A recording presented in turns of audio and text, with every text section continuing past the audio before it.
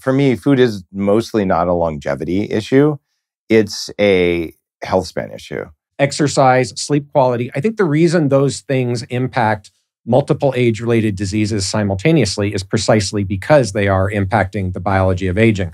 I think the way I would frame it is I, you can only get so far by modifying those lifestyle factors. And so you're not going to see 150, 160 year old people in good health simply by modifying lifestyle. Exactly. We're not going to extend life very much. You can reduce toxins. You can probably hit your maximum uh, your maximum lifespan. Sort of genetic potential yeah. without additional intervention. Yeah. yeah, and that's lifestyle and all that. Right. But extending it, that's stuff like the gene therapy that I just did.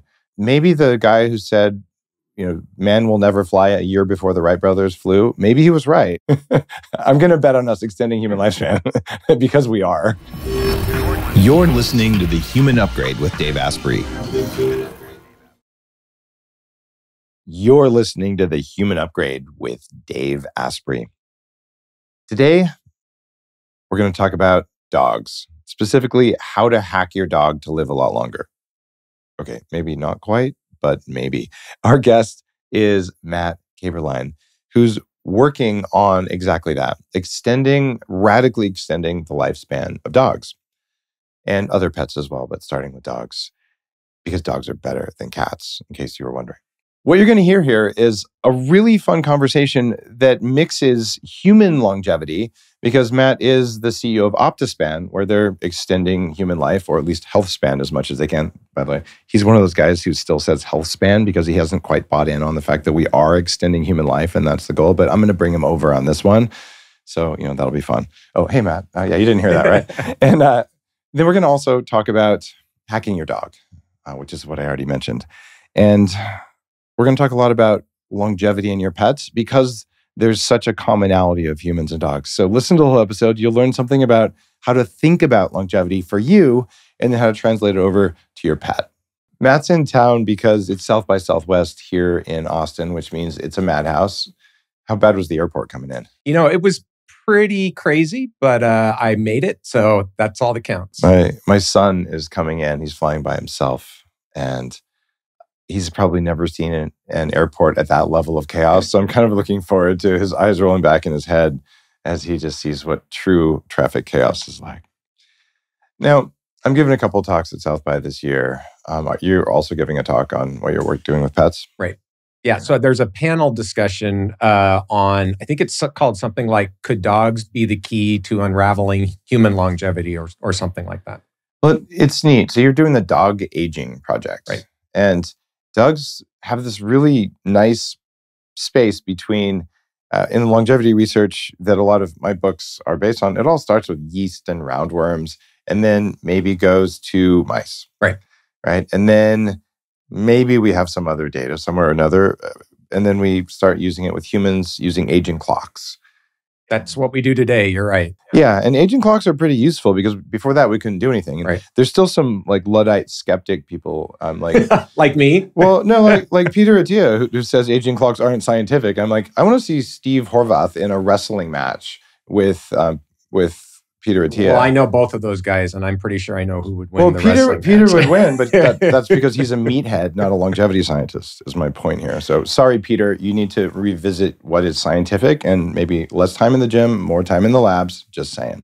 So I actually want to push back on that a little bit. Peter is a friend of mine, but uh, also one of the people I.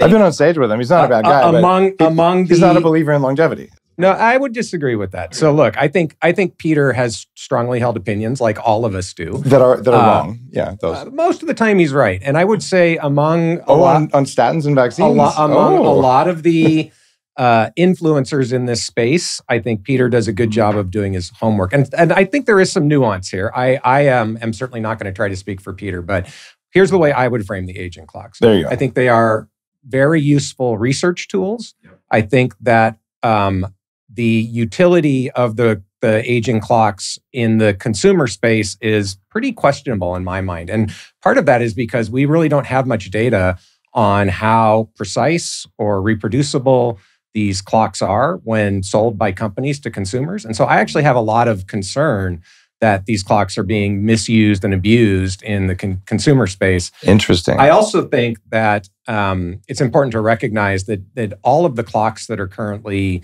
in use are really only measuring one, sometimes two small aspects of biological aging. We don't really know, you know, to what extent are they capturing the entire biological aging process. Nothing does right now, and Yeah. it- we we do know that the aging clocks and um, Steve Horvath's interpretation of it is the first one, but there's about a dozen others. They can predict when you're going to die within about ten years, pretty reliably. I think it depends on what you mean by pretty reliably. I can look at somebody and predict pretty reliably whether they're going to die in 10 years. Um, that's a good point. I would have to look at. I, I don't know if they compared it. I've had this conversation with Steve, so I so It- I kind of know how the math it- plays out. It- They're better than just yeah. Mm-hmm. looking at somebody. They're honestly not that great. They're better than telomeres. yes, but he, actually, uh, that's true. But the question is is that because we don't have the tools yet to precisely measure individual telomere lengths? I actually think this is a super interesting question. It's way off, way off on a tangent, but, but I think it is um, really something we don't we don't know at this point whether the epigenetics, which is what Steve's clock is based on, those are nice because we have huge dimensionality. There Uh-huh. are tens of thousands of epigenetic marks we can measure, and we can do it very precisely. That's very different than the telomeres, where we only have, you know, 46 or so things we can measure, and we can't do it very precisely. So maybe telomeres actually are a pretty good clock if we could measure them. I, I think we just don't know. That. I actually don't believe that. I'm just saying we don't know the answer at this It- point. It's true that we're discovering a lot, and we know more now than we did. And Nobody can argue with that. every 72 days, the amount of info we have about biology doubles right Yeah. now. So it, it's this golden age of longevity research. Yeah. And I've seen telomere numbers swing by 20 years in one week. That's either because of lab errors or because your blood is a terrible place well, to get that's. telomeres. I think that's a good point. Yeah, absolutely. The tissue type that you're measuring, and blood, of course, is is a complex yeah. right set of set of cell types that you're actually measuring. So yeah, there. that- And but this goes back to my point earlier, which is that I think that while these things can be quite useful in a research setting because of a lot of those uncertainties about what we're actually measuring, Yeah. their utility in the real world for now, I think is is unclear. But I'm super enthusiastic that we're going to get there in probably the not too distant future. I, I would say that that aging clocks are extremely scientific and early days. Fair. Right. And so the the idea that well, there's no way we're going to extend human life, and there's no way to measure how old you are biologically, which is kind of a summation of uh, Peter's work. Which is why I'm like, let's go to the A4M. Let's go to the people who are actually looking at extending life with something besides exercise and statins, because well, I, I think those have been tried for a while, and no one's living longer. That's that's why I'm. But I you believe in bone to pick there. exercise. Well, twenty minutes. tell by looking at you. 20 minutes a week of exercise is all I do. Hmm. And I do it with AI and that Upgrade Labs. I, I believe that most people way over exercise, uh, including Peter, right? Because it, it turns out it's not the area under the curve, it's the slope of the curve up, and most importantly, the slope of the curve down, and then the nutrient and protein availability. So I'm going to push back a little bit and By the suggest way, that Pe- Peter could kick my ass, just to be really clear. most people are don't don't over exercise. Maybe Amen. people in the optimization world over exercise. People who exercise every day usually over exercise and almost everyone doesn't move enough right so there's a lot going on there Yeah. and it's funny because you know we're we're here to talk about dogs but we're talking about humans because i think dogs are the bridge between the research from mice and yeast and the little creatures. And hey I, if they can live longer there's pretty good evidence that some of that stuff will help us but it doesn't always. Right. uh, and so well what's in the middle? Well dogs are a lot closer to people than they are yeast but they're still pretty far away. Yeah, yeah and I mean, so first of all, I love the way you sort of frame that because because my career path has followed that trajectory. I started in yeast as a graduate student, then worked in nematode worms as a postdoc. There you and go. then when I started my own lab, we started doing stuff in mice because I believed that there were aspects of aging biology that were in fact shared across this broad evolutionary distance. Turns out that's right. Um, and then about 10 years ago, it occurred to me that, as you suggested, dogs are this really powerful bridge between the laboratory studies and humans. Not only because they're closer to humans um, in a biological sense, but there's this huge environmental component that we can't or choose not to study in the laboratory that's really important for human aging. Um, and because dogs share so much of the human environment, at least companion dogs or pet dogs do, we can capture that environmental component and really understand, you know, not only what are the most important genetic factors that influence longevity, but what are the most important environmental factors. And then there's this huge other piece, which is what I'm most interested in, is we can actually test whether interventions affect lifespan and health span metrics in dogs which would be great for giving us confidence about people. But I'm a dog person. So what I really care about is making my dog and other people's dogs live longer, healthier lives. The number of people in the longevity enthusiast field, whether you work in the field or you're just someone like me who's who's spent decades. I guess I do work in the field, come to think of it, but I didn't used to. Uh, so uh, the number of us who have pets who are not on longevity regimens is very low. All of us know, huh?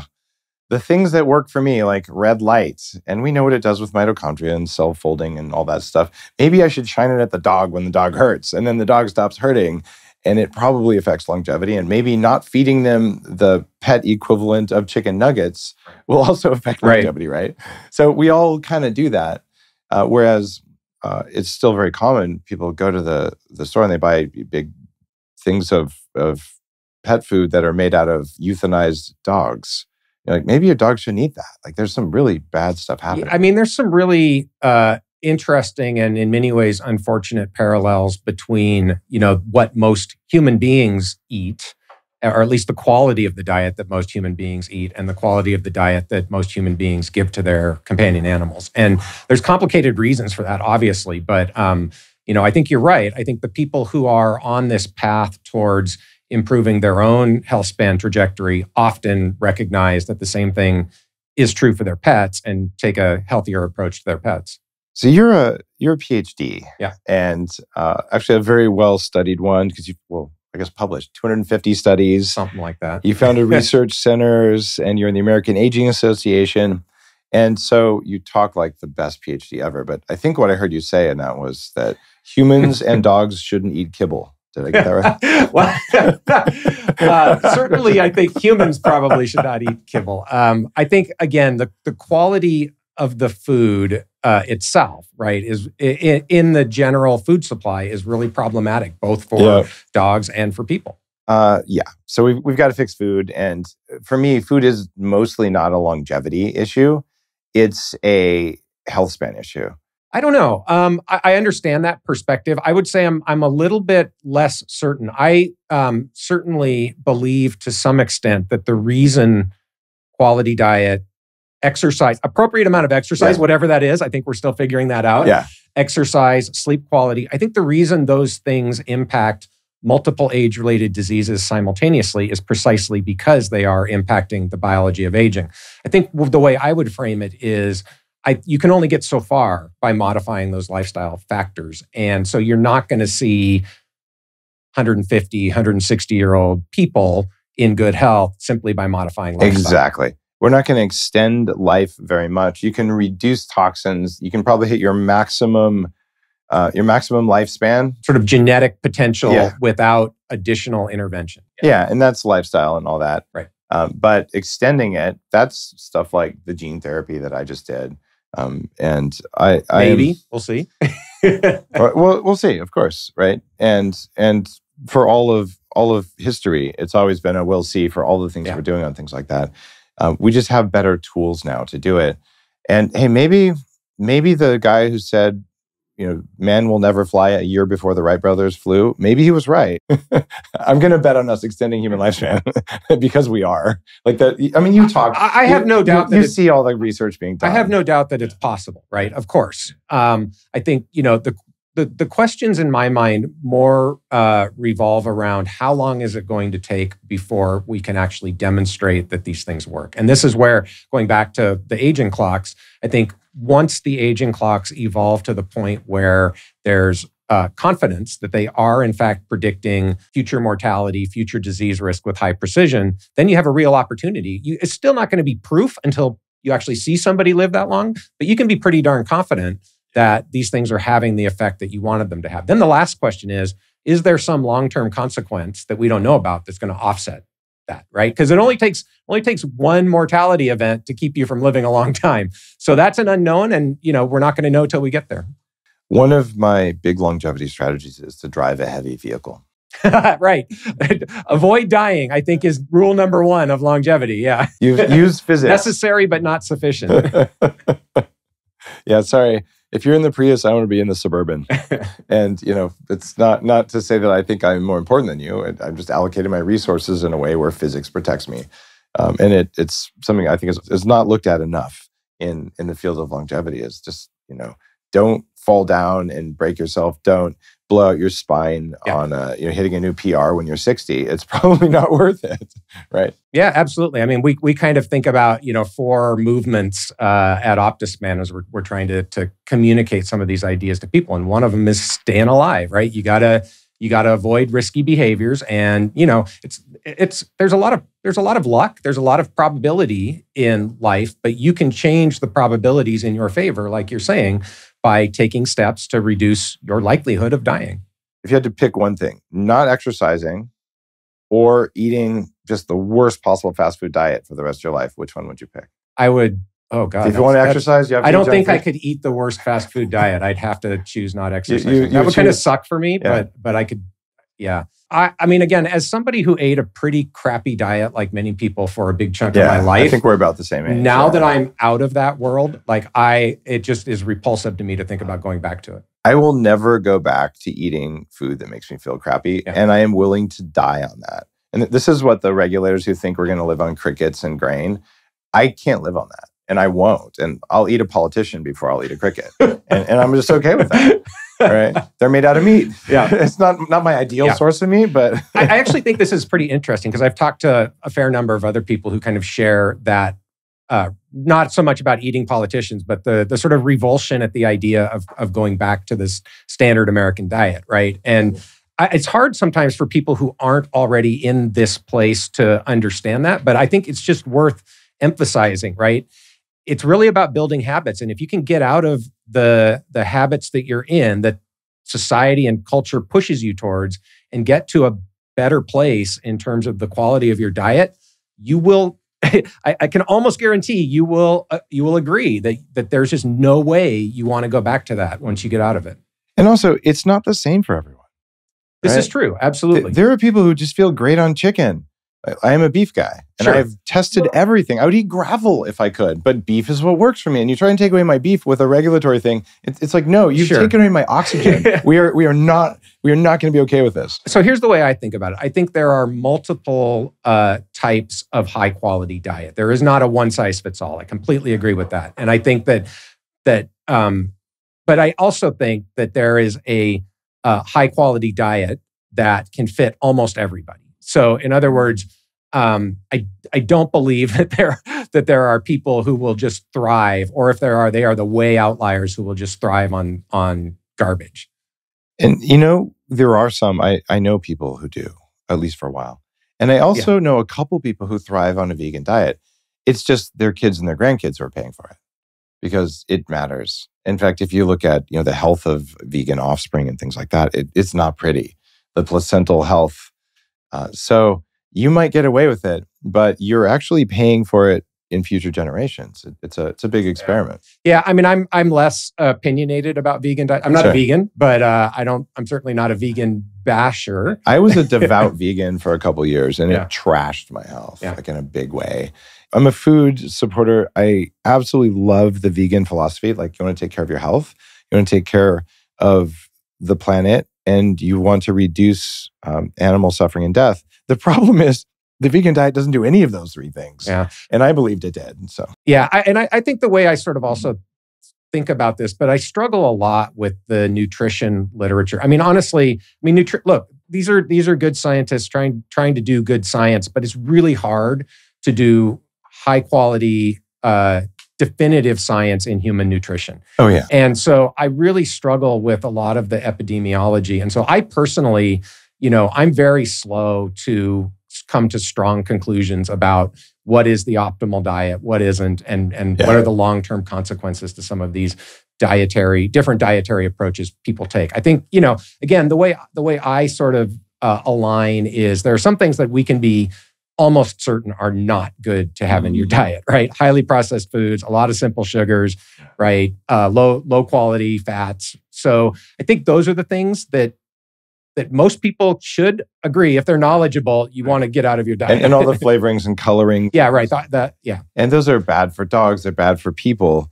Uh, and from there you know what what plant toxins can your body tolerate versus mine?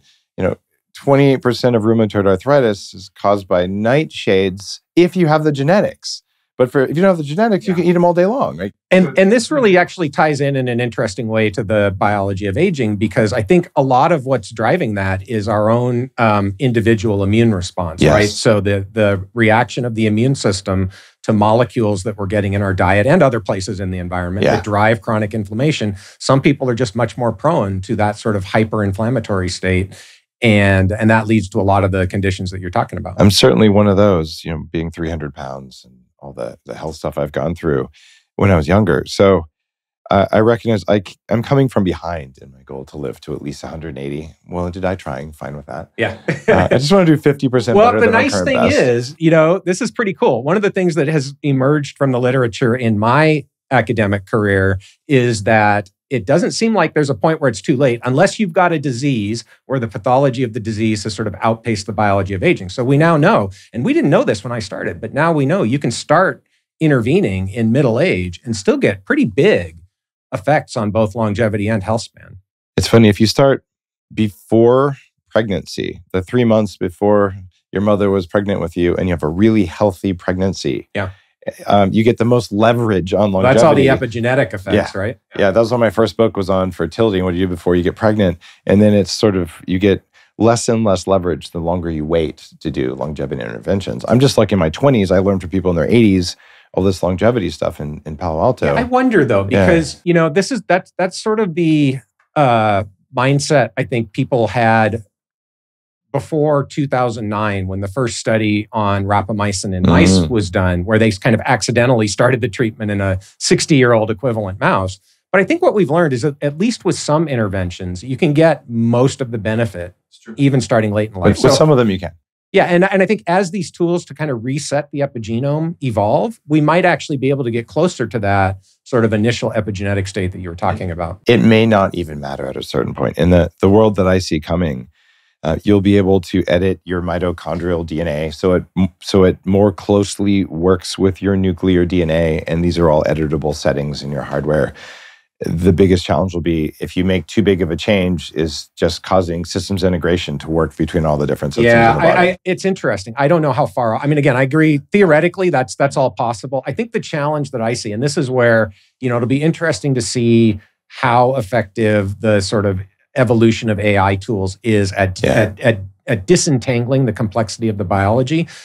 Uh, look, I'm in this field deep, yeah. and I recognize how little we actually understand. and so, half, of, half what we think we know is just wrong, and the AI yeah. believes it. That's that's one of so it'll be interesting to see. But I do agree, all of that's that's on that's on the table. I just don't know how long it's going to take to get there. So I have a pretty good track record of you know seeing things before they happen. I, I'm the first guy to sell anything over the internet before e-commerce had a name. It was a T-shirt that said "Caffeine, my drug of choice," and I sold it out in my dorm room. It was in the Miami Herald and like the first data center companies. I, I've I've picked reliably. I also have a track record of thinking it's going to happen before it does. But now I'm wise because I have some age on me now. Mm-hmm. So I would have said, oh, it'll be three years before we get there if I was 20. I'm going to say 10 years before we get there, mostly because of advances yeah. in AI, subject to uh, to two things. One, that governments don't succeed in in basically destroying our access to these things or to breaking AI. I don't think they can, um, but they might.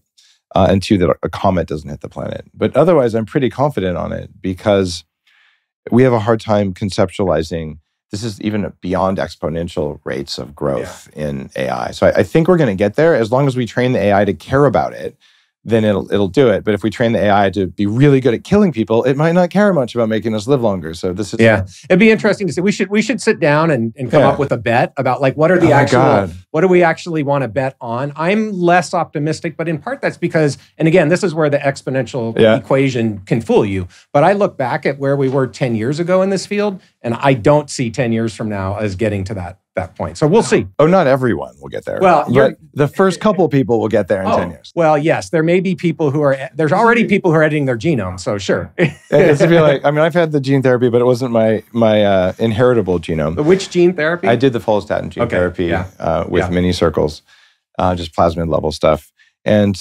I I'm impressed, and I'll, I'll be in the first trial for The Klotho. biology is real. I mean, there's no question about yeah, it. it, it works, right? And now the fact that you know nine years comes off your aging clock for that, you can say, well, that doesn't really matter very much. I'm like, yeah, but the bone density increase and the uh, increase in muscle and the decrease in fat works. Yeah, it's super intriguing. I, I'm I, that's one of the spaces I'm watching pretty closely. It's funny because you know in your day job you're at Optispan, you're working on extending you know, human lifespan for high end clients, and then in your your night job you're saying, well, let's do the same thing for dogs. Yeah, although let me let me clarify. So it's not for high end clients Oh, only, what- what right? is so, Optispan? I- mean, I don't I- so uh, what I would say is our mission at Optispan is really to enable the transition from reactive disease care to proactive health care Sweet. for as many people as possible, right? I like it. So, and I think there are lots of ways you can do that. There are lots of smart people working on this. Um, but I think we have an opportunity to contribute. And so we're really looking right now at two lanes. One is sort of high end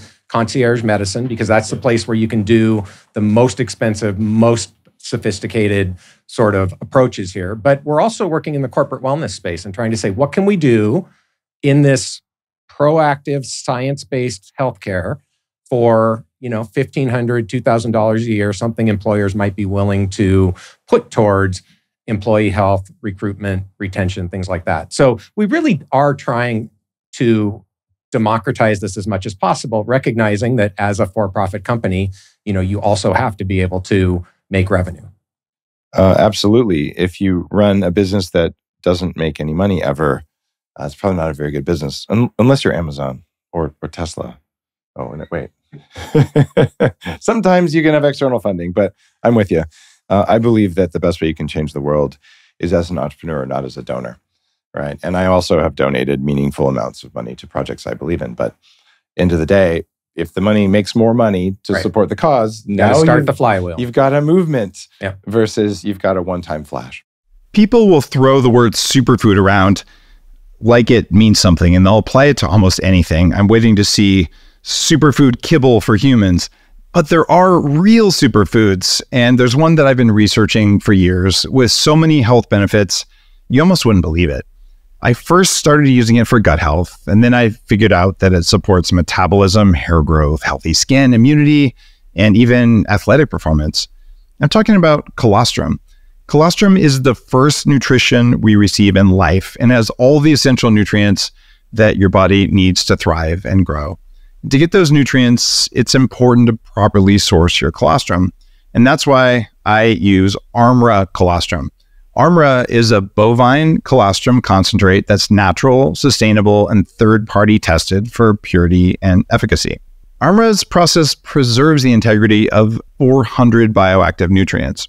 Since I started taking Armra colostrum, I've noticed a difference in my energy, my fitness, uh, my skin, my gut, especially when I travel. And I like it that I can take one or two or three scoops and I could just take it in my mouth or I can drink it with water and it tastes mild and it really does change the state of my body. It's a potent anti aging substance. Go to tryarmra.com, T R Y A R M R A.com. Use code DAVE. They'll give you 15% off your first order. People are talking about this a lot online. I've been a fan of colostrum for years. I just couldn't find one that consistently worked. Armra really makes me happy because it does. We've talked about human aging a little bit here, and there's a lot we don't know, and we're making great progress. Now, we also know small dogs live longer than big dogs. Does this mean that small humans live longer than big humans? Yeah, actually, there's some evidence to support that. So this is something where people uh, have a lot of confusion. There's this idea that um, large animals live longer than small animals, and that's true if you look across species. So if you look across the animal kingdom, larger animals do in fact live longer than small animals. Like but- elephants and whales, exactly. right? Yeah. But when you look within a species, in general, at least in mammals, smaller individuals tend to live longer than larger individuals. And that's true in people. It's complicated in people by the fact that there is a social component to being tall. And so you have to kind of take that into consideration. Dogs are interesting because the body size difference is so much bigger when you look across the dog species that we can really see that difference in aging rate. I've had six dachshunds over the course of my life, uh, including when I was a kid, and all of them lived 15, 16, 17 years old. Yeah. Uh, but the last two were when I knew the most about nutrition and longevity. And I applied those things. Uh, Merlin, uh, who was uh, the last dog that I had, um, passed away when he was 15 and a half or something, but he got a krill oil every day and he got a little bit of collagen and he ate mostly raw grass fed beef and some egg yolks on occasion and um, very small amounts of vegetable matter. And when he was young, I gave him things like the barf diet, you know, bones and raw food. And I don't think dogs are supposed to eat huge amounts of celery and carrots. It didn't work so well. But I ended up with a dog that just didn't have pain in his body, um, didn't have a lot of the debilitating things, no lipomas, and good fur. And Right. it was pretty incredible, Right. actually. Yeah, and I mean, I think I think this goes back a little bit to what we touched on earlier about how a lot of the components of the diet for dogs as well are pro-inflammatory. In other words, they're not things that the canine body has evolved to see. So there's an immune response against some of these factors, and that gives you this chronic inflammatory state, which drives a lot of diseases of aging, a lot of the pain that, that you mentioned. One of the things that's challenging in dogs is there's much less data on the long-term effects of different diet Yeah. in dogs. So there's a lot of um, strong opinions out there Sure. and not a lot of good data. So one of the things we want to do at the Dog Aging Project is actually collect that data so we can actually start to understand and be able to draw strong conclusions that yes, in fact, a particular diet does seem to be associated with much longer health span. There's that word and lifespan. Well, we all want health span. So it's a it's a great goal. It's just not a big goal. I, I want health span twice as long. Yeah, well, That's a big goal. I agree. So I hear what you're saying. Here's the way I would think about it. And this is easier to talk about in humans than it is in dogs, again, because we have the data. At an individual level, I agree completely.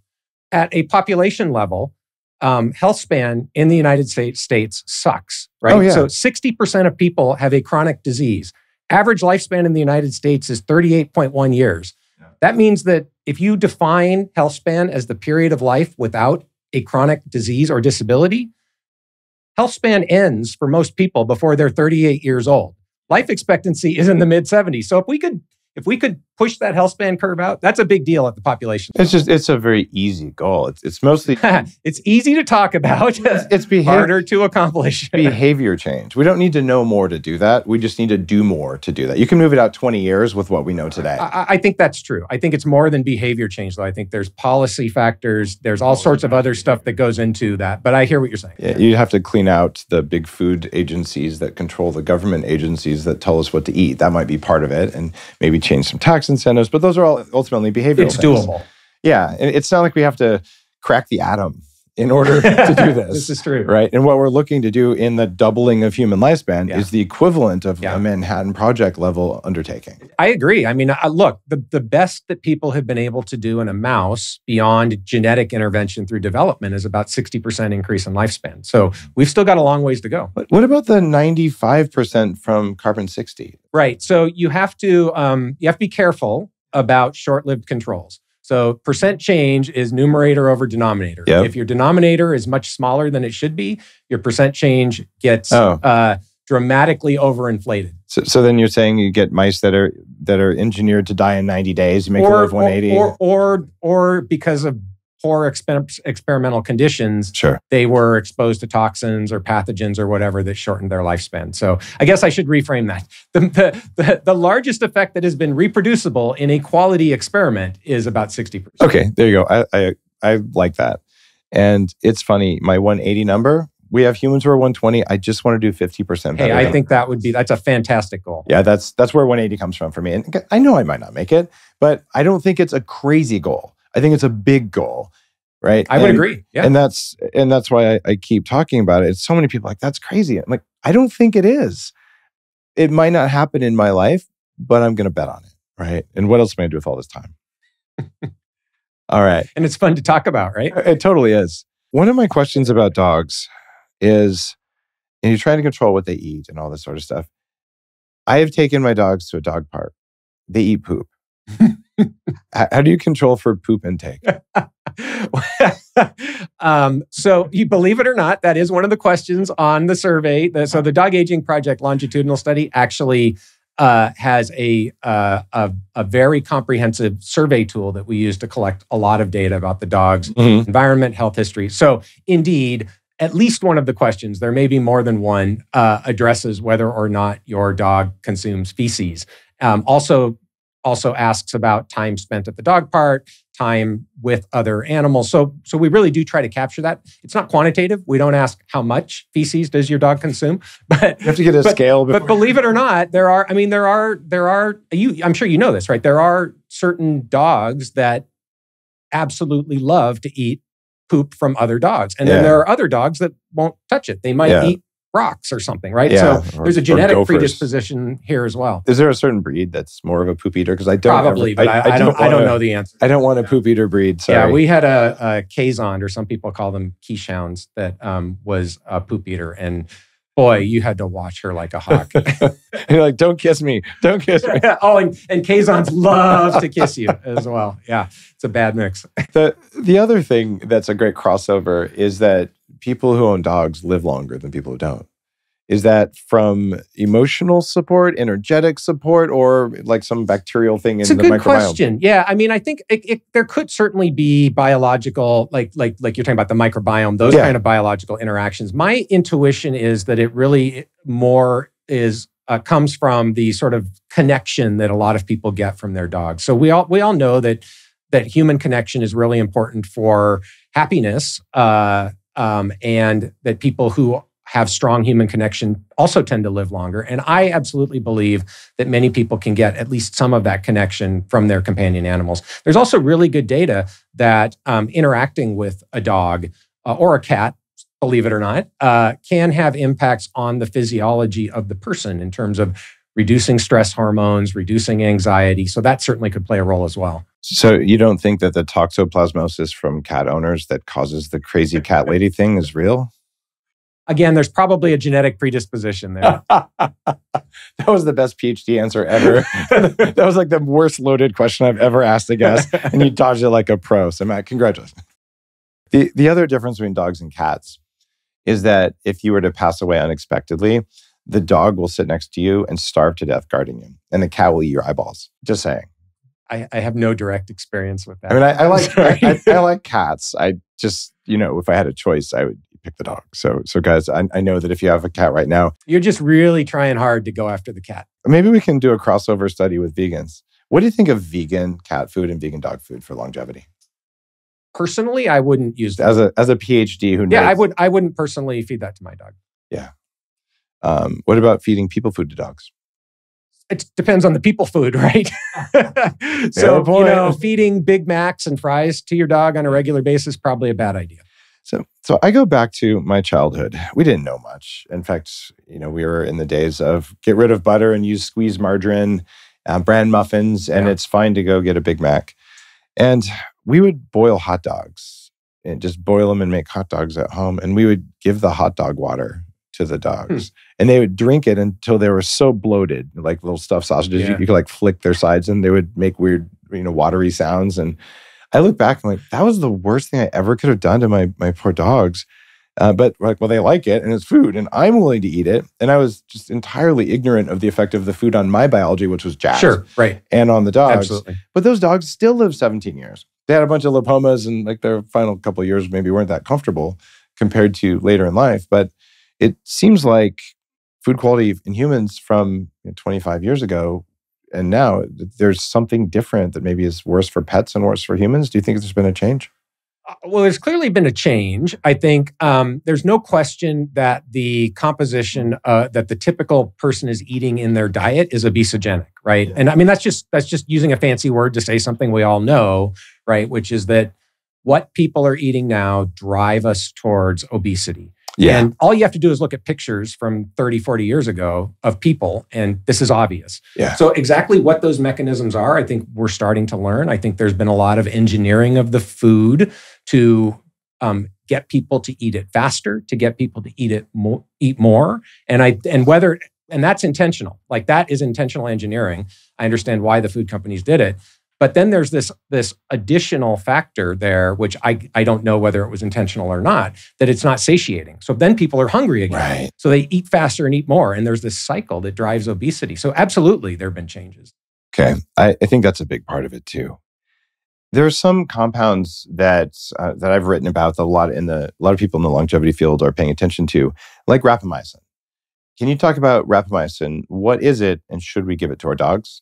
Right. So rapamycin is a uh, small molecule that was found on Easter Island, which also goes by the name Rapa Nui. That's where the drug gets its name. Yep. It's actually produced by bacteria there in the soil.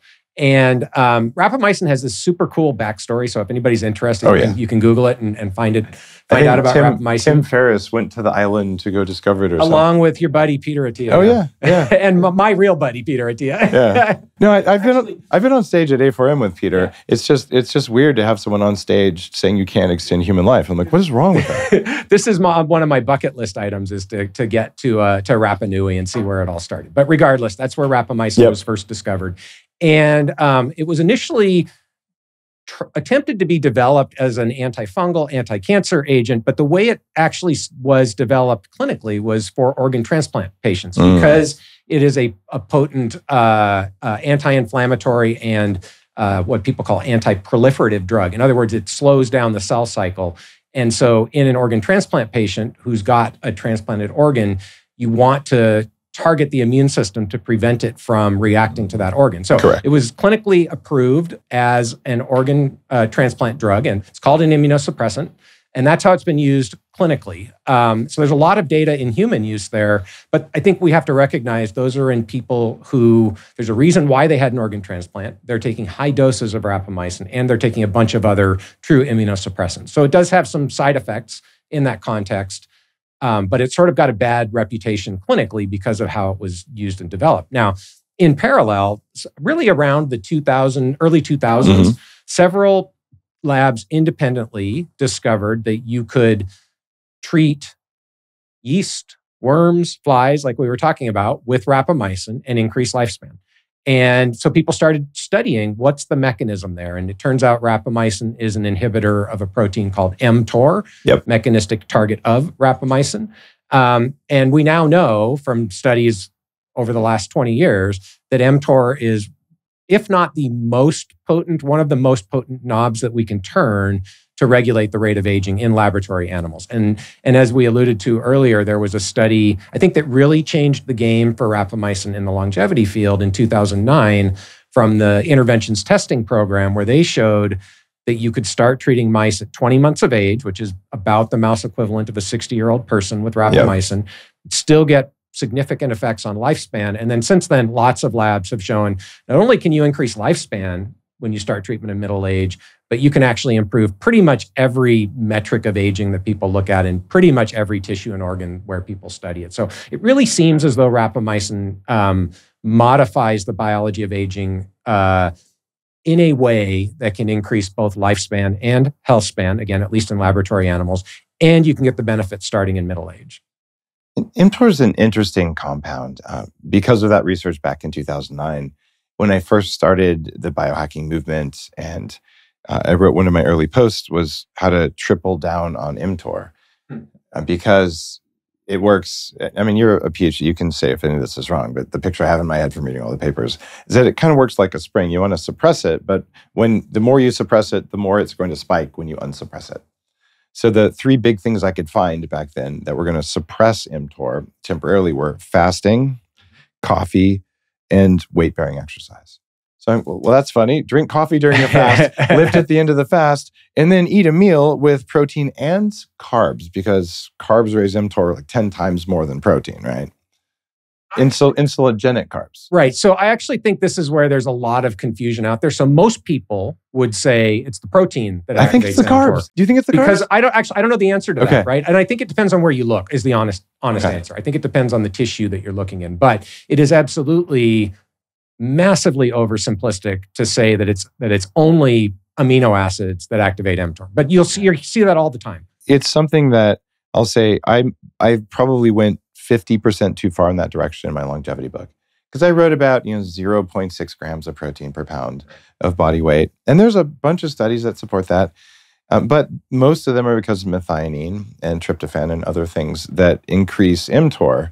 But if you want to look good, you need mTOR because that's how muscles Right. build, and you don't want sarcopenia and you don't want bone loss. And I have absurdly dense bones, and you know a, a relatively high amount of skeletal muscle mass uh, when I look at all my quantified stuff. So if I drop my mTOR too much, Right. the only thing I could eat would be fat because carbs raise it and protein raises it from animals. But I could eat brown rice protein full of arsenic and stuff, but its biological availability is so low, I need twice as much of it.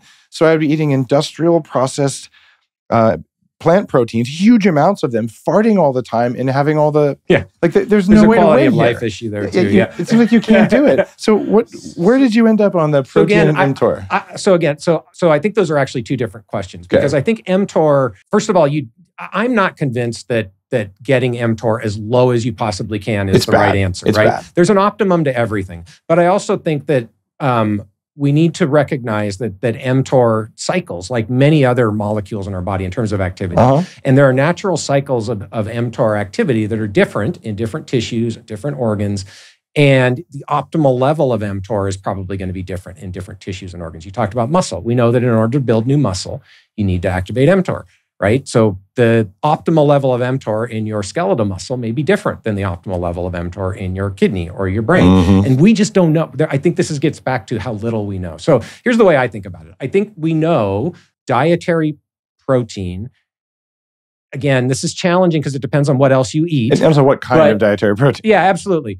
But I think um, if you look at people who are eating a high quality diet, I think in general, this is my perspective of the literature as it exists now, a higher relative amount of dietary protein in combination with resistance training is a very good strategy Yes. for maintaining and growing muscle mass as you get older and bone densities. I'm glad you actually mentioned Yeah. that because a lot of people only think about muscle, but if your bones are crap, it's not going to matter how much Yeah. muscle you've got. So I think this is actually really, uh, really important. And, and I worry that this, again, you get some people out there who simplistically think about mTOR and they're like, Yeah. well, just don't eat any protein. Low protein's good.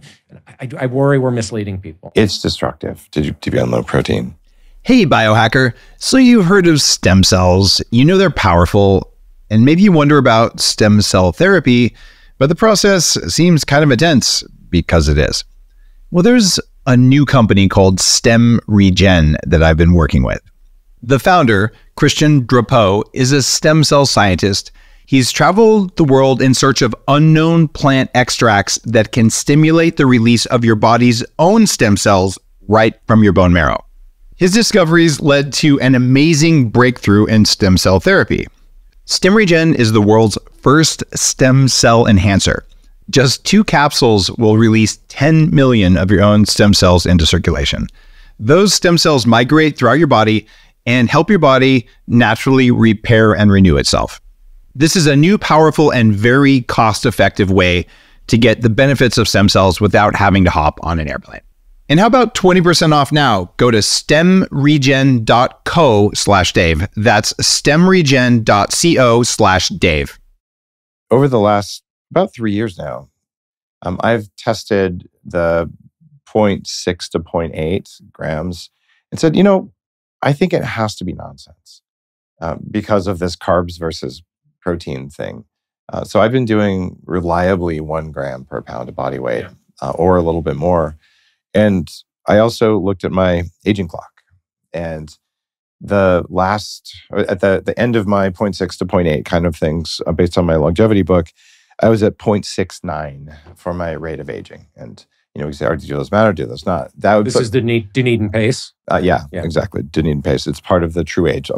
My audience most of them heard the episode on the TruAge test to just to figure out. It's like hey i, I need a metric. It's better than telomeres. And they have about 20 other metrics for aging that i'm tracking i'm going to do a big post on that um, that I've done. Things like pulse wave and uh, P300D. Like there's all kinds of things that are like correlated with age. They don't cause it, but they show is the ultimate output of your system like a young person or an old person. So um, looking at all that, um, after three years of absurdly high, you know, 200 grams of animal protein every day, my rate of aging is 0.72, which is the same as Brian Johnson's on his non-vegan diet because he's eating 20 grams of collagen protein every day, which comes from cows. So I have no idea what Brian Johnson's Well, I doing. mean, I, com- I completely ignore that whole thing. I, I actually I interviewed him. He's he's he's a a very fun person to to talk with because he's so unusual. Yeah. Right. I don't agree Well, with I- everything. and I'm not yeah. trying to bash Yeah. him. Look, I like Yeah. the fact that he is making his data available to people. I Oh, think yeah. that's great. Uh, I do too. I just it's there's a lot of noise. Well, there's a lot of noise, and also, you know, we're all biologically unique, and so, like for me, I haven't published my list of 150 supplements that I take, right? And the reason for that is that I don't want people copying me. I have people who worship the ground I walk on, and guys, could you stop? Like, I, I'm a knowledgeable guy, and I'm inspirational, all that stuff, but you didn't used to weigh 300 pounds, have autoimmune conditions, and all the weird stuff that I did, and you don't need excessive amounts of B6 and zinc and biotin genetically the way I do. So if you do what I do, you'll probably at best shit your pants, and at worst you'll feel like crap for a couple weeks. Like so, we have to customize this to you, and I'm working on tools for you. But and you, you must see this in your in uh, Opta Optispan because you know, some people come in and this person just needs a couple things. So I don't want to do what a guru does. I want to do what I want to do the things the guru does for the reasons the guru does them.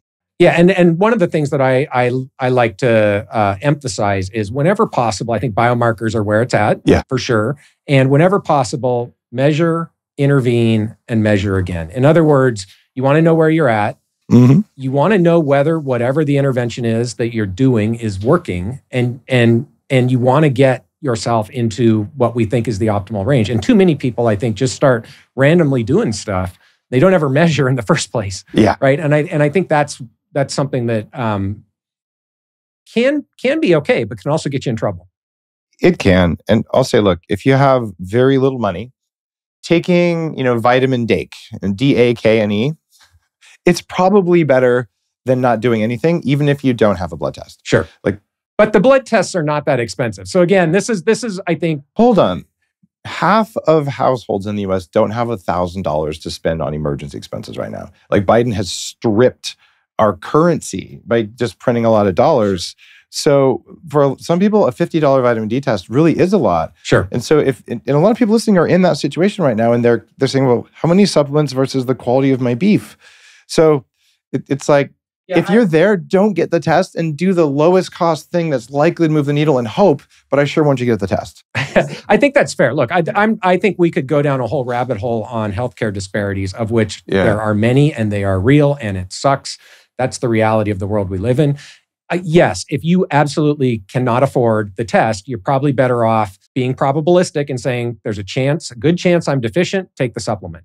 Yeah. I think a lot of people who claim they can't afford the test actually don't know how much the test cost and could stop going to Starbucks and getting their $10 coffee every Yeah, day. just uh, skip two skip two drinks Right. one night a week and you'll be fine. I, I agree with you. People allocate things differently. Okay, so anyways, we were talking about rapamycin in dogs. and Yeah, we- so we are, but that's because you're a, you're a broad spectrum, knowledgeable longevity guy. So I'm having fun with you. Um, talk to me about triad. yeah. So uh, so so rapamycin, we know from the uh, preclinical literature and laboratory animals, it seems to affect biological aging across the evolutionary spectrum. And it occurred to me again, this was probably 2013, 2014, that, that there were actually several things we knew could increase lifespan and health span in mice. And those things almost certainly would work in dogs. And I've been a dog person my entire life. And I suddenly realized, holy crap, I could probably extend the lifespan of my dog and other people's dogs Yeah. but we need a way to actually test it. And so that's how Triad evolved was as really um, an effort to do a rigorous double-blind placebo-controlled clinical trial in dogs to answer the question, does rapamycin increase lifespan and improve health span metrics in dogs? And so we designed the trial. It took about took about 5 years to get funding to actually do that trial. And then we started enrolling dogs and it's happening right now. Any preliminary data you can share? Yeah, so we've we've done two uh, what we really uh, thought of as safety trials. So these were shorter term. So one, the first one was ten weeks. The second one was six months. Uh, again, randomized, double-blind, placebo-controlled. Um, so, so a few things I can say with certainty. So we did not see any significant adverse events in any of the trials to date. So we're pretty confident that rapamycin, at least at the doses we're testing, can be used safely in dogs. Um, we found statistically significant improvements in two measures of age related heart function, both Okay. left ventricular function. That was done by echocardiogram in the rapamycin treated dogs compared to placebo. And in both trials, uh, there were increases in owner reported activity. So a little bit weaker kind of data because this was owner reported, but again, the owners were blinded. So they didn't know if their dog was getting rapamycin or placebo. So I think we, again, we can be pretty confident about safety, and there's some evidence for improvements. I don't know anything about the outcomes from the big trial now from Triad because that trial is still blinded. Um, it looks like you guys designed it to detect a 9% change in lifespan. Yeah, so it was originally designed to detect a 15% change in lifespan. That was 230 dogs. And then uh, a few years ago, a group of uh, donors came together. Peter Attia actually put this together, Cool. um, along with Tim Ferriss and a couple of others, to increase the size of the study to 580 dogs, It's worth it. which gives us the 9%. So 40 to 110 pounds, you basically want big dogs, at least Yeah. seven years old. What about guys who like little dogs who think they're big?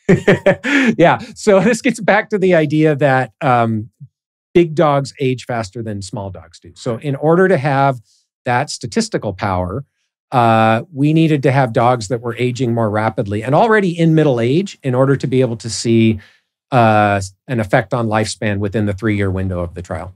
All right. Uh, and humans taking rapamycin. I mean, I've done it on and off. Do you take it?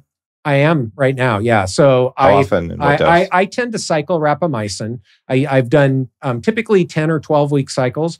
And I'm honestly pretty non-scientific about it. I uh, I take it when I feel like it, or when when you know things in my life are lining up. But um, I've I've done six milligrams a week, ten milligrams a week, eight milligrams a week, so sort of in that range. The first time I ever took rapamycin was because uh, I was having uh, uh, some very severe shoulder pain, and after a long drawn out process got it diagnosed as frozen shoulder or or adhesive capsulitis Right. so inflammation of the shoulder capsule the doc really said there wasn't much that he wanted to do There's so He much said, you can do. said go back to go back to physical therapy and it might go away in a year and i was just you know i was i was horrified by that because i couldn't sleep couldn't throw a ball with my kid and i started thinking you know i I, I know about something that is really good at knocking down age related inflammation. So I set up my own N of one experiment, uh, six milligrams a week. And I had, you know, I planned from the very beginning that I would give it 10 weeks and see what happens. And within a couple of weeks, uh, there was a very significant reduction in pain. And by the end of the 10 weeks, I'd say 95% range of motion, almost no pain, and hasn't come back. So for me, it was a very important kind of quality of life changing Yeah. uh, experience.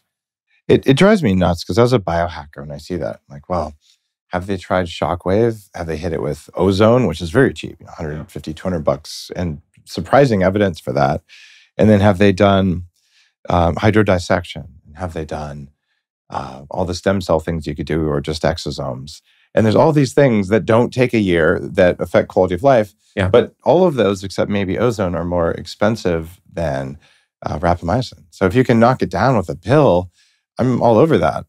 I, I noticed when I went above six that I tended, because it's immunosuppressant, I tended to get more uh, like colds and things like that. Hmm. I, I typically don't get them very often. I'm, Yeah. I'm very robust now. I used to get them all the time when I was younger. But uh, so I guess that there's a dance there that you have to do based on, you know, the states of your mast cells, whether you have long COVID or your mold exposure like I, I, think did, there's a lot of individual variation just in both uptake of rapamycin and the rate at which it is cleared. So we know that rapamycin is metabolized by something called the cytochrome P450 Uh-huh. family, which is also involved in a lot of drug metabolism. So some people are just faster metabolizers than others. So I think there's a very, and this is where, unfortunately, we just don't have much good data um, on individual sort of responses to off-label use of rapamycin. I have a question about the dog study that just popped into my head. Are you tracking whether the owner of the dog is a couple versus a man versus a woman? Oh, that's a good question. Um, so I think the, the answer is yes, but in indirectly. So we do get information about uh, number of people in the household. Okay. So we get both number of adults, number of kids, and other animals. I don't think we ask ever about uh, you know spousal relationship or anything like that in any of our our data. It's more what sex are the people I'm thinking about. oh yeah, we get that. Yeah, it's it'd be interesting to look at whether there's uh, there's any information in that because you might have seen the studies that show when a woman feeds the lab mice, they get an entirely Oh, right. different stress yeah, response than men. absolutely. There's this pheromone thing going on. Yeah. Yeah. super, super interesting there. Yeah. For that matter, too, if a woman in the house with a dog is on birth control versus not on birth control, we would know. What's going on uh, with the confounding variables we just don't know about? AI should solve that for us in about three years. Uh, Again, you're just- very optimistic. Well, it it's that my my field is computer science. Yeah. Right. And understanding exponential growth, uh, we still don't think of it well as humans, but this isn't exponential. This is an exponential of an exponential right now. So when you go really deep on that stuff, you just realize the world's going to look really different Yeah, every year going forward. Yeah. Uh, I'm pretty sure we'll both have jobs, and I'm pretty sure that next year we'll both be sitting at home, and it'll look like we're in an interview Yeah. right here. I mean, uh, the stuff that's coming down is crazy. I'm in the the very late stages of creating an AI that has every word I've ever spoken, every every research paper I've ever used, um, and all of my books. And this is 1,200 interviews on my show, and probably another thousand on other people's shows. Yeah. Um, along with a bunch of other research, so that when people come in and say, "I want to do what Dave does," I'm like, "No, no, no. Do what Dave would recommend." Right, based on all Yeah, of these interviews, what would Dave's guest recommend? Right. And then um, it's even down to the point of saying, well, how much energy do you have to invest? How much suffering are you willing to endure? right? Because some things are harder than others, right? Are you going to tap into your bone marrow the way I did a couple times? Probably not, right? and then how much time uh, and how much money are you willing to, to put in? And what is your goal? So that's ultimately where health span and life extension end up. If your goal is a healthy health span and you want to look a certain way, your recommendations are going to be different than someone who says, I don't care how I look, make me live twice as long, right? Or I want to be, you know, I want to be the brain from Pinky and the Brain. Okay, like totally different set of of supplements and totally and I think we're there with our knowledge, but our ability to filter and sort the knowledge. You've you've studied for I don't 20 know. plus I mean, years. I, I, I think I think you've got a you've got more confidence in the quality of the data that's out there than than I do. I, I'm I, I have done enough uh, scientific research in a lab and seen enough data from other people to be pretty skeptical about the quality of Oh. a lot of the data that we've got. And so my worry is that yes, an AI could come to answers based on those data, but are they going to be the right answers or not? So we actually agree violently on that one. Um, the was was it the chief of the British Medical Journal just said we've reached a crisis point. You cannot reproduce most of the studies that are out there because of corruption. Yeah, I don't know that it's because of corruption. That I would push back on. Probably ad libbing that part, but he says because of special interests or, or I think there's all sorts of reasons Yeah. why there's noise in the scientific literature. There's some Absolutely. corruption, no question about it. Um, some of it is just the biology is so complicated that that you know, and, and the effect sizes are within the margin of error. There's a lot of bad statistics. oh yeah, and there's some just you know bad training. I mean, I, I see this in my field, right? You can you can follow people who were who were not trained to do rigorous science, who don't Yeah. do controls, who intentionally misinterpret, or they don't even realize they're intentionally doing it. They've been trained to leave out data that doesn't fit the model. So I think there's a lot of reasons. It's not it's not intentional corruption in many cases, but the A end result is the same.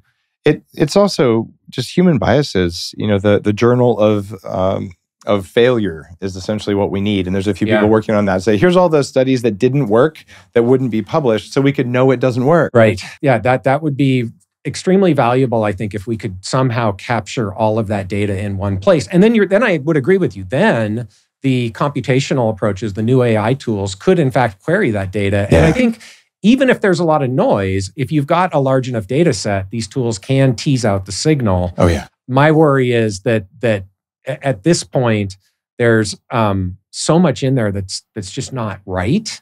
Oh yeah. We're going to end up at wrong answers.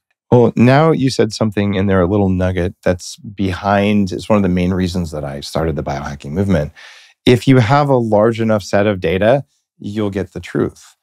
So, the reason I'm happy about AI's ability to do this is not that AI is going to believe half the garbage that's out there. My AI, I actually only train it with studies that meet my standards, right? So, I'm like overweight the ones that actually make sense within all the frameworks we're working in. Understanding I have my own bias, but if you like my bias and my results are good, okay, fine. Maybe my bias is better than someone else's or not, right? Sure. So we'll end up in this world where we have competing sets of data. And you know, we might have, you know, you have your Optiscan set of, of data and principles and recommendations, and your AI says, well, here's what we would do. Yeah. And then you get Peter Attia, he doesn't need AI. He's like, just exercise more and just that's all you can do. Come on, stop bashing Peter.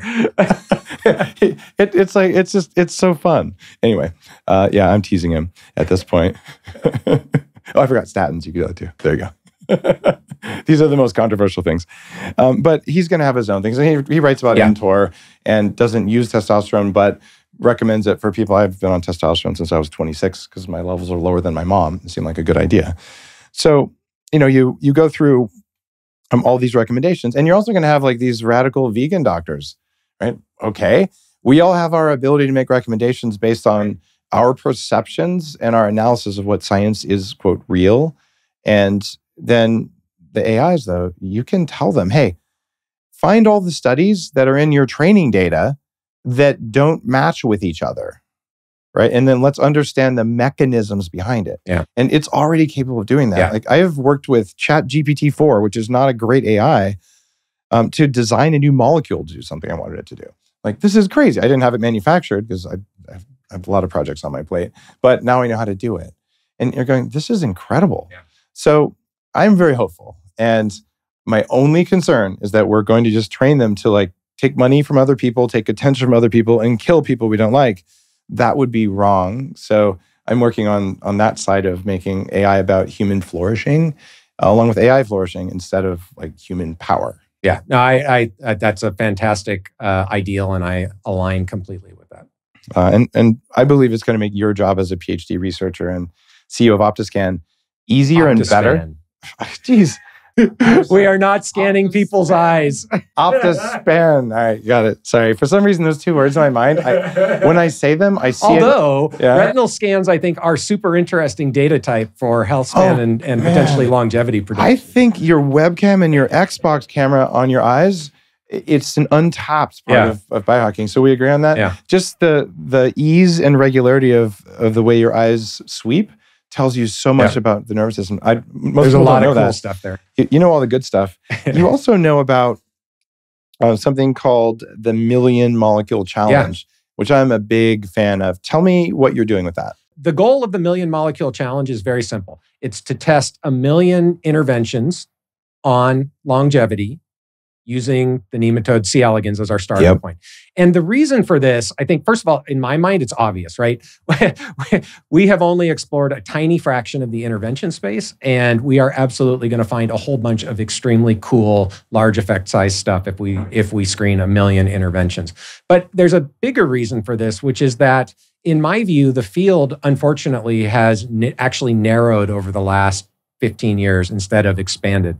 And I think the hallmarks of aging, which I like as a as an artificial construct, have contributed to this. So the hallmarks of aging, I know you know, but in case in case your define it for your people. viewers don't, um, are a set of originally nine, now 12 uh, aspects of biological aging that a group of people in the field have um, settled on as being the core mechanistic features of aging. Yeah. And they include things like your favorite telomere shortening, Right, right. uh, senescent cells, mitochondrial dysfunction, deregulated nutrient signaling. I could probably get 10 of them. I won't get all 12. Intracellular, extracellular junk, cellular stiffening, loss of stem cell volume. Uh, yeah, There's there's the three Yeah. new ones: dysbiosis, right? And Uh-huh. uh, I don't remember what the other. yeah. That those didn't exist when when I wrote my book. I had seven. Yeah, that was and then nine, Yeah. and twelve, and they'll probably be eighteen next year. Right. So that's the point, though, is that I think the um, the adoption of the hallmarks so broadly by the field has sort of forced people to think about their research within that context, and it has become very, very difficult for people to think outside of the hallmarks, or maybe more importantly, get funded to do research outside of the hallmarks. And so the consequence of that is nobody is really doing the, the large scale discovery science at this point to find what don't we know. That's really the the, the point of the million molecule challenge is to say, okay, let's not pretend like we completely understand the biology of aging. Let's go find out what we don't understand. And if and and in my view, if we're going to do that, the thing you want to do is you want to be able to look at scale. So you need technology that allows you to look for interventions that have a big effect at scale, and we've created that. And you probably want to use lifespan as the endpoint you're looking for because that is what we're most interested in. But I thought you couldn't extend lifespan. You can absolutely extend lifespan. Don't tell Peter. yeah, I'm just messing with you at this point. Yeah. No, I mean, look, uh, we've been able to successfully extend lifespan in every animal where we've tried. There's no reason to think humans are any different. Now, you created something called the Wormbot. Yeah. Which makes me happy. And, and listeners might remember uh, the company behind a peptide called OS01 that apparently reverses um, cell aging in skin. Uh, they looked at something like 600 uh, different potential interventions using skin on a chip, basically, to figure out what worked. So, one relatively small company looked at 600 things and found one that worked. Right. And you're saying, well, all of the companies here, and you're providing the tool, this Wormbot, which Right. is essentially the, I guess there's some biology from nematodes on a chip. Like, how does the Wormbot No, no. work? So the Wormbot is actually doesn't involve a chip at all. Um, so this is this is using kind of the standard, at least currently, the standard conditions people have always used for aging studies in worms. These are nematode worms. They're about a millimeter in size, so Yeah. tiny, crawling around on the surface of a plate, and they eat bacteria as their food. So in the old days, people had to sit at a microscope right. and and in fact um, as the worms get older they slow down. So it's kind of funny. You actually use a wire pick and you tap them on the head to see if they're still alive. So it's sort of like hitting a person with a telephone pole to see if they're still alive. Take forever, too. Oh my God. so yeah so it's extremely time intensive. So we just created a robot that um, has a camera attached to it and it takes Yeah. pictures of the worms over their entire lifespan every 10 minutes and then we use ai to interpret those pictures and tell us are the worms still moving? If so how much? How fast? Are they still alive? So it's all automated. So it takes us from being able to do you know a couple dozen experiments in a year to a couple hundred thousand in a year and it's sort of infinitely scalable. So you know a million is just a big number. There's re- no reason you couldn't do 5 million or 10 million. How much does it cost to have a Wormbot? yeah so the wormbot itself uh, probably only takes a few hundred dollars to build in parts. Obviously there's people required to do it. The, the ai tools are a little bit more sophisticated but it's nothing that a computer science major couldn't couldn't do. It was like a quarter, a quarter million bucks. To do the, the million molecule challenge Just to, to build out all the, like, if I want to run it in my living room, I got space there. if you wanted to build a wormbot factory, which is what, so this is, so we didn't talk about this. Ora Biomedical is the company we spun out of my right. lab. ORA, it's the, it's the Rapa Nui word for health and vitality. So, uh, is the company we spun out of my lab to do this at scale. And so the goal there is to build a, uh, an army of about 40 wormbots and use that army to assess the effect of a million interventions on longevity. If you made a T-shirt that said "Wormbot Army," I would pay fifty bucks for it to support your research. You got it. in fact, maybe that's what we should do. So, if people are interested in learning more, uh, you can go to the Ora Biomedical website. There's a um, a video there where I talk about this in a little bit more detail. You can also actually sponsor an intervention. So we have a leaderboard. I don't know if it's up yet. I think it's now up, where people can sponsor interventions. You can pick your own, or you can just let the let the computer randomly pick them for you and then you get your data back right? And so the goal here is actually to do a service for the field even though it's a for-profit company. The goal is to create a database of at least tens of thousands of interventions that people have sponsored to make that open access so that people can use the ai tools to query that database and find new things right so th- i think there's just so much potential here This is so cool. See, Yeah. that that's a contribution to the field Absolutely. in a big way. I thank you for doing that. So believe me, this is a source of immense frustration to me. As I tried hard to get this funded on the academic side and just couldn't do it. And it and finally it got to a point where I was just so frustrated that I'm like, okay, we got to take this outside of academia or it's never going to happen. well, I'm I'm just thinking I would definitely fund um, glyphosate as a as of course if it had a You- you huge know negative if it had a huge negative effect that might well, be useful so data. actually, I, it's interesting I'll give it to RFK. So some things. So this is. I'll tell you a, a an interesting. I don't know if it's interesting. Yeah. It's kind of amusing to us. So when we first started doing, we built the Wormbot in my lab at the University of Washington, and we first started doing a little bit of uh, of screening. And um, of course, we find things that shorten lifespan. We find more things that Yeah. shorten lifespan than extend. One of the first things that we found, we were looking at some FDA approved drugs, and this was actually this was probably 2021, maybe. So we were kind of still in the in the uh, COVID nineteen pandemic. It might have even been 2020. In fact, it, it was because it was before it was before the election, um, and uh, we found this thing that shortened lifespan to like half a day. we looked at it and it was ivermectin. And we were like, Whew, I'm glad that didn't extend lifespan. yeah. Well, for, for nematodes, you would expect it to. But that's, that's exactly right. So we're going to own the market on anti-helminthic drugs, right? We're going to find all Right. sorts of stuff that shorten lifespan in worms. I was laughing because I am a sheep farmer. And we have a bunch of ivermectin. You give it to the sheep because the nematodes make them sick. Right, exactly. Yeah. Yeah. So it was actually a nice uh, sort of positive control that that we had in there. And, and of course, you didn't have to enter the land of controversy That's by right. saying, oh I was God. just thinking, do I have to publish a paper that says that ivermectin extends lifespan and slows aging? That would be, um, it would have made headlines. I will, I, will give it that. I do know some people who believe it probably does, most likely by reducing the effect of parasites that we don't know. we Sure, have. right, and that, Yeah. I mean, again, that's plausible. Yeah, I'm certainly not recommending people start taking ivermectin. I, I think fenbendazole is a much better drug for yeah, that. that's for, interesting for too. longevity. Yeah, I yeah. take that every three months. I do a course of fenbendazole Yeah. because before you get to the seven, nine, or 12 hallmarks of aging, you get to don't die. And if you look at the big four killers, that's what I call them. Um, others call them four pillars, but um, it's cancer is one of the big four. And Sure.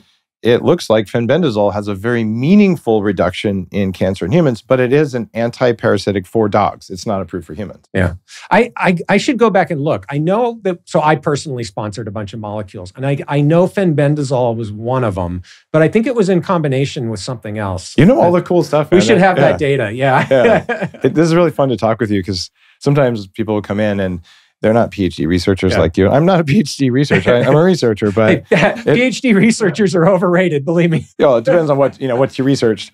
But it, it's cool. You know the little corners where Yeah. you know I wouldn't I wouldn't expect most people to do that, and it's because you're working with um, really three different uh, of the most important markers. You're looking at the early stage, which is nematodes.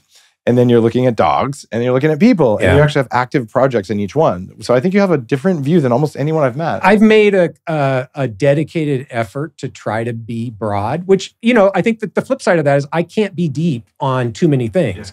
But and it's interesting, and and and to me, this is a source of a little bit of of I don't know, frustration is not the right word, anxiety maybe. That you know, ten years ago, I felt like I had a pretty good grasp of everything that was happening in the field. I don't You feel can't. that way anymore. It's it's growing so much, which is great. Like I, you know, I am I am you know passionately a believer that we need to do this and that growth in the field is a good thing. Um, but it has made it harder for me to really keep up with a lot of the cutting edge stuff. This is something that that deserves a little conversation here because I think it's affecting you and it's affecting a lot of listeners. In the early, early days of the internet and the web, um, back when I'm doing that e-commerce thing, uh, there was a time where I knew every website, every single website, because there was only five, and then there was ten, and then there was a hundred, and it grew. And I went through this period of of crisis. And I'd say I was about 23 because I would stay up later and later. I'm like, There's so much new knowledge and information, Right. and I was trying to scale my knowingness of my digital environment eh, with my time. Yeah. And eventually, I was truly. Uh, I think I was an information addict, what they call email addiction, or now it's just you know mobile phone addiction. Uh, and I had a problem with it, and just understanding that there is no way any human, even the very smartest and best of us, is going to know everything online right now. Yeah. And besides, half of what's online is garbage anyway. So the only thing we can do is learn to be comfortable and not stressed with that. Right. Because the stress will kill you. And I think recognize your limitations, right? And that's I think where a lot of people fall down is they they don't recognize what they don't know Yeah. and get themselves in trouble. And I try hard. We all do that. Look, Sure. I, I but I try hard to be very humble about my lack of knowledge and and recognize that there's way more that I don't know than I do, even about aging. Even about aging and it's also important then um, and a big thing that i look at at my job is really is to curate knowledgeable people who have a good view of the future and and have different sets of of visibility into into practices and all that so that listeners uh, can come in and say all right that that feels like a good direction uh, because the network of all the guests who've been on the show is is uh, hundreds of thousands of times more knowledge than I Sure, have, even right. I'm pretty knowledgeable. So it's like, how do we curate? Eventually, it'll be the best, the best experts like you, and the best AI tool sets, because there will be millions of different AIs that believe different things over the next couple of years. So That's pretty interesting to think about. yeah, how do how do we filter that, Yeah. right? And it turns out the best filter that your biology is a filter of reality, right? It's throwing out a bunch of data before it hits your brain. Well, we need to build systems that throw out data before it hits our brains. And that's as important to longevity as having a dog. because otherwise, you're just like, I'm constantly bombarded. Yeah. I can't sleep. Yeah.